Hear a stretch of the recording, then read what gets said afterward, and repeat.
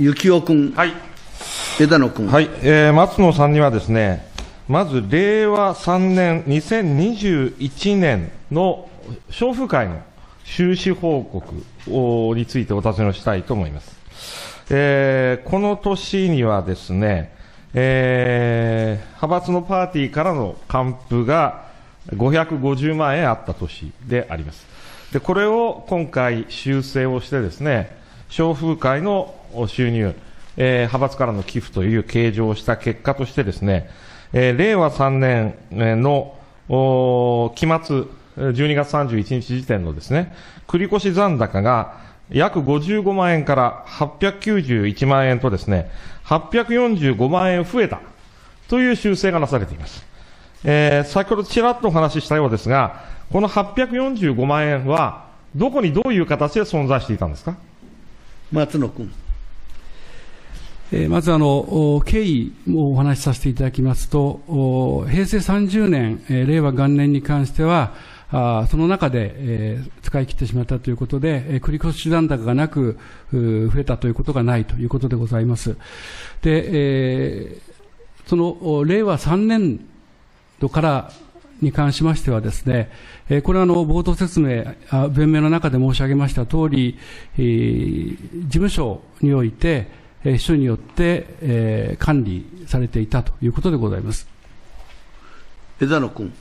あの、事務所といっても、どこの事務所ですか？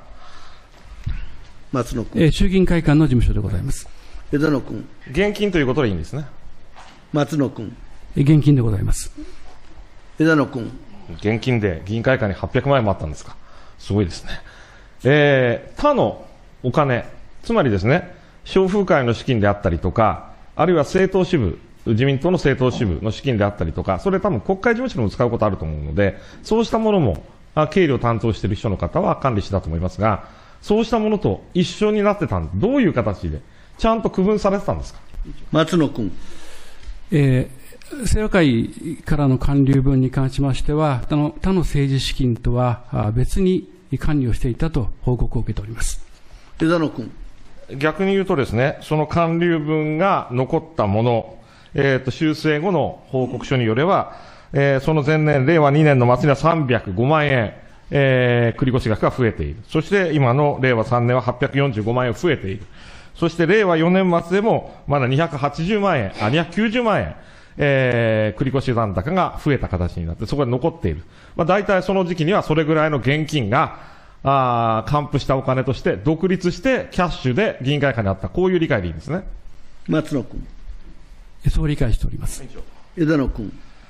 はい、そこでですね、今度はその繰越額が845万円増えていた翌年、令和4年ですね。この年に突然ですね、この商風会の支出が、あーもともと290、あ236万円程度であった単年度の支出、繰越を除く支出がさ236万円程度であったものが、550万円も増えている。550万円分は、あほぼ丸々全部、介護費が増えているわけですが、いや、その550万円、どっからどう出してたんですか？松野君。どこからどう出していたかというとあのおまずですね、増えたということに関しましては、その前年まではコロナ期でございまして、東京都等からですね、会合の開催、人数等々に厳しい規制がございまして、会合等が開ける状況ではなかったということでございます。それが会合ができるようになってですね、えーまあ、大体あの私主催の会合、これは各議員みんな同じだと思いますけれども、ほぼ毎日会合がありますが、そのうち自分主催の主催の会合というのが、週1回から2回、やっておりました。その会合費に充てたということでございますが、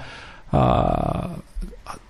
おそらくですね、増えた分に関しては、派閥の方から還流をした分、還付されたものを使っていたということだと思います。枝野君。いやいやあの、そこはしっかりと確認していただかないといけないんですけれども、つまりですね、還付したお金をですね、還付されたお金をですね、まあこれは帳簿上載ってないお金ですわね、もともとは。その載ってないお金がずっと金庫にお残ったままずっと来たのか、それともですね、日々、他の経費と同じように、えーそこからも支出に使い出しをしていたのか、どっちなんですか？松野君。えーそのお還付されたものからあー使っていたということでございます。枝野君。はい。えっと、この令和4年度の収支報告書を見させていただきますと、うん、その会合費がですね、えー、500万円余りも増えていると。まあ、件数もですね、大きく増えている。まあ、それはまあコロナの影響というのは間違いなくあったんだろうというふうに思いますが、ちゃんとあの、詳細な日付、えー、多分これ、支出をした日で、会合した日ではないと思いますけど、日付とかですね、金額が書いてあるんですね。領収書はどこにどうあったんですか？松野君。えーまず、うなぜえーその分をお当初より記載しなかったかということについてお話しさせていただきますと、えーそのお支払いの還付金に関して、えー記載に計上しないようにということであったために、まあ、そこからあ出しているう支出に関してもお記載ができなかったということでえーございます。枝野君。収支報告書に記載はしてないけれども、あの、今になって日付まで正確に書けてるということは、あの、領収書が残ってるんでしょ？残ってないんですか？松野君。えー領収書につきましては、残っていたものと、今回改めて、えー発行してもらったものがございますが、あの請求書が事務所に届いて、えその請求書にのっとってですね、えー振込で支払っていたものですから、あ振込日、金額、宛先等があ明確であるために、まあ、必要に応じて、えー領収書を、まあえー要求していけばいいかというようなあ考えであったと聞いております。枝野君。それではですね、実は、この修正前の商風会の収支報告書でも会合費は10件ほど計上されてるんですね。で、その中には、具体的に言いますと、うーん、例えば、ホテル大倉東京というのが、どっかあったなえー、キャピタル東急ホテルとか、あ、ホテル大倉東京ありましたね。えっ、と、令和4年10月11日に38万円余りの支出を、もともと、あ、失礼、えっ、と、追加をしてるんですね。ところが同じホークホテル大倉東京に対するですね、4月8日の6万3000円は、もともとの商風会の、あの、収支報告に載ってるんですよ。同じ相手に対するものが、同じ年度。もともとは載っていた。ということは、もともとの商風会の別に管理されている資金から出ていた。そして、なぜか、10月の分は、あーキックバックしてもらった、帳簿外のお金から出した。これどういう区別が誰が知ってたんですか？松野君。その支出の判断につきましては、まああ、秘書によってなされていたものであります。枝野君。なんで公表処理してたのか聞かなかったんですか？こんな違法で官房長官辞めなきゃならないようなことまで起こって、そういう秘書さんに、なんでこういう分け方してたんだという話聞いてないんですか？松野君。えーこれはあの申し上げました通りですね、秘書にいなぜえーこういった扱いをしたのかということに関しましては、あー清和会の事務局の方から、あーこれはあー記載しないようにという教示があったためということにようき説明を受けておりましたので、まあその流れの中で、えー開示するべき支出等々ができなかったということを聞いております。枝野君。その、収入をかけなかったことじゃなくて、支出についてですよ。同じホテルオークラについて、同じ年度、ね、あの、はホテ同じホテルオークラに支出してるのに、えー、商風会でもともと出してたものと、裏金から出してたものと分かれてるんですよ。いや、時期によるんだったら逆に、同じ4月8日支出でですね、ホテルオークラには商風会から出してるのに、ホテルニューオータニには裏金から出してるんですよ。どういう基準でどういうことやってるんですか？松野君。えーそのお支払いの詳細なあ点につきましては、今、私の方で、えー手元資料がございませんので、えーまた確認をさせていただきたいと思います。枝野君。普通はですね、普普通はですね、その、この時期に、例えば年度の初めのうちにね、商風会から出してったけれども、商風会残高ないんですよ。その裏金入れないと。この裏金がなかったらこの年大幅赤字なわけですよ。ね。だから後半になったら、裏金から出しました。言うんだったら理屈はわかります。あるいはですね、こういうところはあんまり収支報告書に載せたくないな、というような支出先。なんか高級料亭、まあ、あえて言いますのあえて名前は言いませんわ。高級料亭、名前だけ聞いたことあるところ載ってました。高級イタリアレストラン載ってました。名前だけ聞いたことあるところが。ね。いや、そういうところあんまり出すと印象悪いかなと。だそういうところは避けようとかね。そういうことがなんか働くならわかるんですけど、全くランダムなんですよ。どう調べても規則性ないんですよ。ということは、なんか後から無理やり書き集めたんじゃないの？って疑い持たれても仕方がないじゃないですか。松野君。あの、支払いや領収書の発行につきましては、まあ、私の事務所にですね、請求があった分に関して、私の事務所からまあ口座振込をしているということで、えー、申し上げましたけれども、振込先、期日、金額とは明確になっておりますんで、何かそう隠さなければいけないというようなことではなかったかと思います。枝野君。今時ね、口座振込をするのにね、同じ日付で、しかも同じようなホテルですよ。片方ホテル大倉とホテルニューオータニですよ。同じ日付での振り込みですよ。いや、今時振り込みだったらね、口座間振り込みだったら手数料安いんですよね。現金持ってったら高いんですよね。確か。で、それなのになぜか、大倉は、ね、商風会から出していて、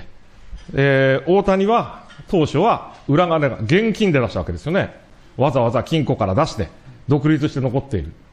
不思議で仕方がないんですよ、こういう処理を。いや、その日の分は全部裏金から出しましたとかね。それならわかるんですよ。だけどなんでこの日にね、同じ4月8日付でね、大倉には商風会から出しておいて、えー、大谷には裏金から出したのか。それが理解できないんですよ。理解できます？松野君。あまあ、まず現金で払ったわけではないと、え現金で振り込んだということでございますし、まあ、先ほどお答えを申し上げた通りですね、その詳細区分振り分けに関して、え私が今承知をしておりませんので、確認をさせていただきたいと思います。枝野君。そうですね。もう一回出てきていただかないといけないですね。今みたいなこと、支出についてきちっと確認していただかないと。だってなんで同じ日付のね、同じ種類のホテルなのに、A ホテルには商風会から出している。まあ、これが、これも現金で持ってったのかもしれませんけどもね。だけど、一方ではわざわざニューオータニの分だけね、えー、裏金の別のお金のたまりのところからわざわざ持ってって振り込んでいると。なんで区別したのか。同じ日付のもの。全く理解のしようがないと。そしたら片方は実は家族で行ってたのかなって疑われても仕方がないんじゃないかということを申し上げてるわけですよ。単に領収書があるだけでは。だから家族で行ってたから、あで、それは政治資金にならないですよね。そんなものに使ったって言われるとまずいから裏金から出していた。いやいや、違うと信じたいですよ。松野さんそういうタイプじゃないなと思いたいんですよ。だけどそう疑われても仕方がないじゃないですか。今のように。規則性があるならわかると。ね。ホテルについては商風会から出したとかね。逆にね、ホテルについては全部裏金から出してとか。ある時期については裏金から出してと。同じ日付の同じ性質のところに違う、ね、えー、片方は表で、片方は裏で出してだったら、何らかの意図が働いていたと。意図が働いてたってことは、ちょっと政治資金かどうか怪しいものを裏金で失踪していた。今回表に出さなきゃいけなくなったので、もう1年、2年経ってるんだから、そうバレないだろうなと思って、まあ、しょうがない出してきたと。疑われても仕方がないと思いますが、違いますか？松野君。えー、まずあの政治資金への対応に関しましては、あまあ、事務所としてもですね、えー、今までもきちっと、まあ、振り分けてやってきたと私は認識をしてき、えー、ておりました。で、えー詳細に関しては申し上げてますとおり、手元にですね、資料がないもんですから、まあ、改めて確認をさせていただきたいと思います。そして、その後、まあ、清和会から還付されたものの帰属先についてはですね、まあ、これはあの、政治資金団体であると。いうことも、これは今までの捜査においても認定されているところでありますので、まあ、政治資金として、えーの活動目的に適合したものであるというふうに私は考えております。枝野君。政治団体の形式を事後的にでも取れば、ね、政治資金になって所得税がかからないという説明をしてるから納税者の皆さん今怒ってるんですよ。ね。何に使っても、ね、政治資金収支報告書では、実は何に使っても政治資金として使った、とね、会合費として使ったら、これは政治資金として認められちゃうわけですよ。ね、だから、事後的にね、他のことに使ったかもしれないことでも政治資金、かつ政治団体としての収入で政治団体の支出だと言ってしまえば、実は全部所得税のかからない、それお金になると。それが2年経ってから、ね、あれは政治団体へのお金でした。政治活動に使っておりました。領収書は高校でございます。2年経ってから持ってこられてるわけです、今。実際に失踪した段階では。あるいは令和3年の末の段階ではですね、金庫の中に800万円あった。金庫の中に800万円あったのは、今回検察から指摘されて、ね、政治団体小風会の収入として認識したけれども、その段階では誰のものか、明確な、誰も判断してないお金、そして松野さんが自由に使えるお金が800万円あったんですよ。それに所得税、雑所得してかかってないのは、やっぱり理不尽じゃないのと。そこから2年も経ってから、これはこの政治活動の会合に使ってましたと言われて、領収書は残ってたとしても、誰と何食べてたのかまでは、少なくとも今説明できないわけですよ。それでは納税者納得できないと思いますけど、違いますか？松野君。えーまずですね、まあ、2年後になってというお話に関しましては、あ冒頭でもお話をさせていただきました通り、まあ、今回の事案の確認の中で、えー清和会からの還付金に関して、えー判明したということで、えーそれが表になった、えー領収書、過去のものでありますけれども、出てきたということで、えーございます。で、えーまあ、これがですね、政治目的以外に使っていたんではないかということに関しては、これも繰り返しになりますけれども、ま、政治目的として認められているものの中で、支出をしてきたということでございます。で、あの、私の方でですね、その還付金に関して、自由に使っているんではないかというご指摘がありましたけれども、えー介護等の設定に関しては、まあ、私も関与しておりますが、その支払いに関してはですね、えー事務所の方からあー支払いを起こしておりますので、まあ私があその還付金に応じて自由に使っていたということは事実ではありません。いやいや、会合の設定自分がしてたら、その会合の相手が、ね、そのまさに政治的に必要な会合の相手であったのか、ね、個人的なお友達であったのか、その設定を自分でできたら、それは支出を実際にね、銀行に振り込む。ね、スタッフの方は分からないじゃないですか。っていうか逆に議員がこれで会ってて、領収書、請求書が回ってきたらね、それは間違いなく振り込むのは、それが誰と何の飯食ってたか関係なく、事務局は振り込むじゃないですか。だからそれぞれ一件一件本当に、あの、いいですか？一般的にもうこれは問題なんですが、こうした会合が本当に政治活動と言えるのかどうかというのは。だけど今回は、2年間ほったらかしで政治活動として報告しなかったんですよ。松野事務所は、小風会事務局は。2年間政治活動ではなかったというものを今回突然これ政治活動でございましたと言って、それに使ったんだから所得税払いませんと言ってるわけですよ。それは納得できないでしょう。納得してくれって言うんだったら、この会合は何の誰々さんとこういう会合でございまして、これは個人的な遊興費でありませんと。そこまで説明してくださいよ。松野君。えー冒頭の弁明の中で申し上げましたけれども、まあ、会合に関してはですね、まあ、国会議員の方々、まあ、有識者等とのお会合がもうほとんどであります。まあ、ほとんどであるというと、じゃ私的なものがなかったのかといえば、私的な会合というのは、この中には入っておりません。でそれをですね、えまあ、今、個々の個人名まで挙げて、説明すべきかどうかというのは、まあ、その参加者の方のプライバシーの問題もありますので、控えをさ控えさせていただきたいと思いますが、あの判断として、まあ、政治活動として、えー現状、まあ、その現状の法体制に関する解釈論、評価というのは様々にあるかもしれませんけれども、えー認められる範囲の中でですね、行ってきたということでございます。枝野君。いいですか？もう一度、もう一度だけ言いますね。少なくとも失踪した段階、振り込みをした段階は、事務局の方含めてですね、これ政治資金として計上しない、お金として振り込んでるわけですから。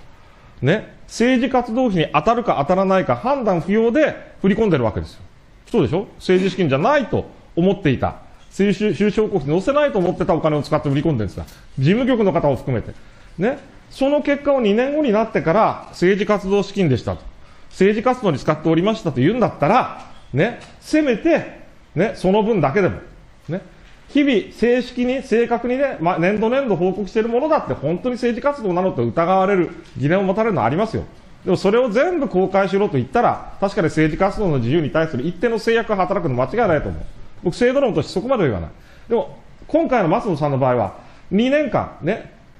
800万円ものお金が金庫に、誰の何の金だかわからないものが残っていた。その金から500万円も縮小して、領収書はございますので、2年前のものだけど、これ政治活動費でした。2年間政治活動費としては言ってませんでしたが、やっぱり政治活動だったので、これに使った金は税金払いませんと言ってるわけですから。それは納得もらえないということは十分ご理解をいただきたいというふうに思いますが、最後にもう一点だけ聞いておきます。松野さんは、令和4年、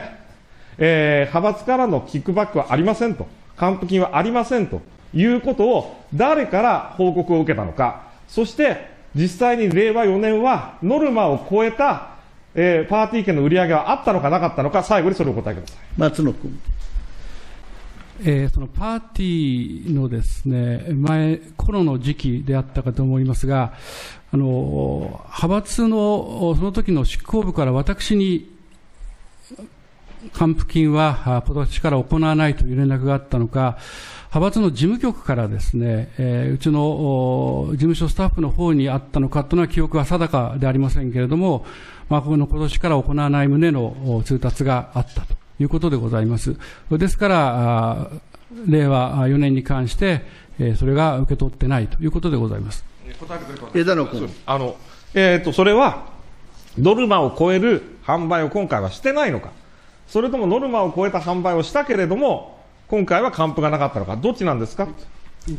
松野君。私の場合はですね、えー、清和会のパーティー券に関しては、まあ、多くはあその清和会の口座に振り込んでいただく形、また一部現金で回収したものを清和会に納める形で行っております。まあ、ですので、最終的にですね、えー、ノルマが達成できているのかどうか、いくらぐらいの売り上げになったかというのは、まあ、清和会がその口座を閉めて確認をしなければ、私にとってもわからないと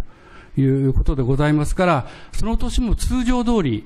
今まで、えー、お付き合いをお願いしたところに、清和会のパーティー券をお願いをしておりますので、えー、おそらくは、その、それまでの過去のですね、何年間かの動きを見ますと、ノルマ以上に清和会への振り込み等、また現金で持ち込んだものがあったんではないかと推測をいたします。枝野君。えー、今あご覧いただいたのは、枝野幸男前、えー、立憲民主党代表の松野前官房長官への質問です。もう話がわけわかんなくなってきますね。裏金と政治資金がある。都合のいい方に、あ、あれは政治資金でした。あれは、あ裏金でしたので、えー、収支報告で、えー、変えましたとか。もうその繰り返しでありまして、まずびっくりしたのが800万円、事務所に置いてあるそうですよ。800万。そりゃ議員会館に泥棒は入りませんけども、うん、まあ、800万も、事務所に置いておく感覚っていうのが、あの、一般の皆様にはおお分かりにならないと思います。まあ、枝野さんはもう質問するともう鋭い。えー、もう、弁護士だからパッとここに違法性、えー、適法性、があるんだっていうのがわかるんですね。だからこれはどうでしたかと。すぐに切り返し、できる。あれは私はできないですね。違法性、ど、どの、資金が、あの、どういう使われ方が違法か合法かっていうのを、あの、そんな瞬時に判断できないんで、枝野幸男さんはね、あの、まあ、党首にはあまり合わないかもしれないですけども、こういう国会での質問には、あの、どんどん出て、えー、戦ってほしいなと思います。